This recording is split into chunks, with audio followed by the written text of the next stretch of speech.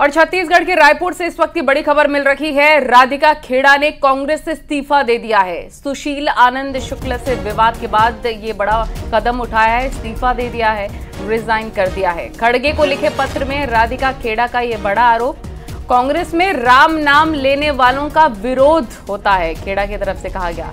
कांग्रेस में धर्म का साथ देने वालों का विरोध, कल बहुत बड़े खुलासे करूँगी, ये भी उनकी तरफ़ से कहा गया है।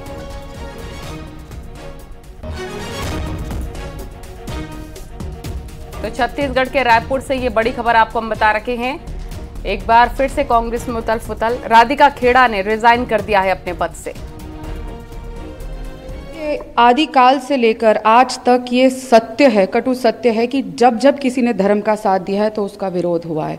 चाहे हिरण कश्यप जी हो, चाहे रावण से लेकर कंस तक, ये सब उदाहरण है कि किस तरीके से जब जब धर्म का साथ दिया जाता है तो उन लोगों का विरोध किया जाता है। श्री अयोध्या धाम रामलल्ला की जन्मभूमि हम सब हिंदुओं के लिए बहुत ही पवित्र स्थली है। और मैं वहाँ दर्शन करने से अपने आप को रोक नहीं पाई। लेकिन वहाँ जाने का विरोध इस कदर मुझे सहना पड़ेगा मैंने अपने जीवन में कभी नहीं सोचा था। मेरे साथ छत्तीसगढ़ प्रदेश कांग्रेस कार्यालय में अभद्रता हुई। आ, मुझे वहाँ पे धक्का मुक्की करी गई कमरे में बंद कर दिया गया। लेकिन मेरे साथ न्याय नहीं हुआ। मैं चीख चीख कर गुहार करती रही। छोटे से लेकर सबसे बड़े शीर्ष नेतृत्व तक गुहार करती रही लेकिन मुझे न्याय नहीं मिला। और सिर्फ़ और सिर्फ़ इसलिए नहीं मिला क्योंकि मैं राम मंदिर होकर आई मैं राम लल्ला के दर्शन कर कर आई और मैं अपने आप को इस बात से रोक नहीं पाई। जिस दिन से 25 अप्रैल को मैं राम लल्ला के दर्शन करते आई हूँ मुझे निरंतर विरोध का आ, सामना करना पड़ रहा है पार्टी से।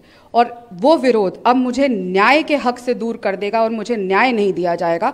ऐसा होगा। प्रभु श्री राम के दर्शन करने के लिए इस तरीके के मेरे साथ व्यवहार और बर्ताव किया जाएगा, मैंने नहीं सोचा था।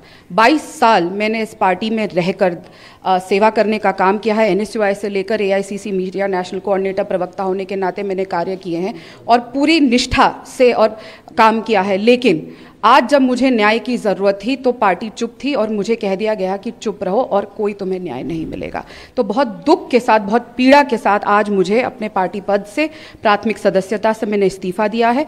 लेकिन मुझे पूरा यकीन है कि राम लल्ला मुझे न्याय ज़रूर देंगे। ज्वाइनिंग को लेकर भी विचार जी बिल्कुल नहीं ऐसा नहीं है। मैं आ, अभी सिर्फ़ न्याय की लड़ाई लड़ रही हूँ और मेरी लड़ाई कायम रहेगी।